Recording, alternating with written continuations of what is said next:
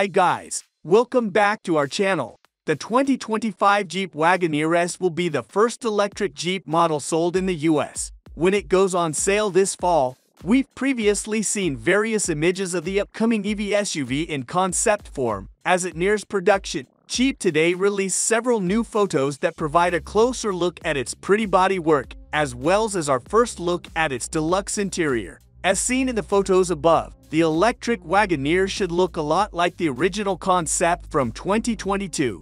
Its squinty headlights feature a daytime running light that runs into a strip above an illuminated version of Jeep's 7-slot grille, which was also teased along with the SUV's release date a couple of weeks ago. The new exterior images also appear to show a different set of wheels than on the concepts, as the design looks to feature a predominate 5-spoke design with thinner spokes behind that.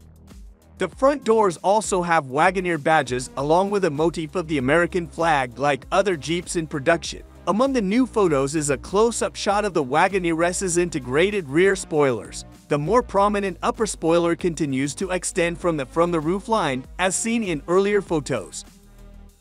However, now there's a smaller lip spoiler that we don't recall seeing before, and it appears to direct airflow off the rear window. The full-width tail lights look like earlier renditions, but now there's Jeep script above the light bar versus the Wagoneer that we've seen before.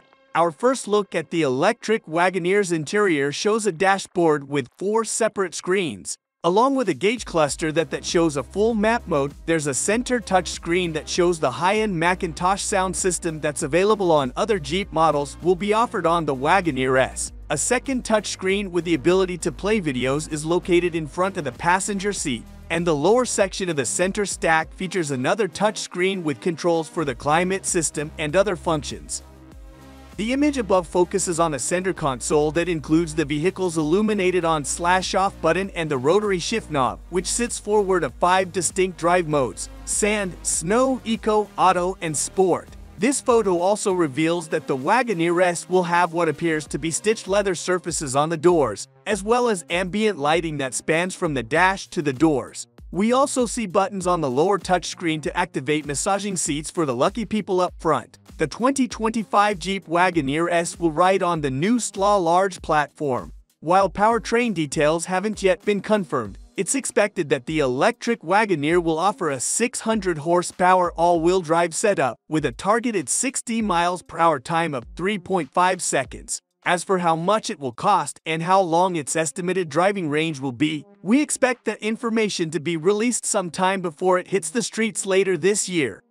Friends, write in the comments what you think about the new 2025 Jeep Wagoneer S. It's interesting to know your opinion. Put likes and subscribe to the channel so as not to miss the latest news from the world of cars. See you soon. Goodbye, everyone.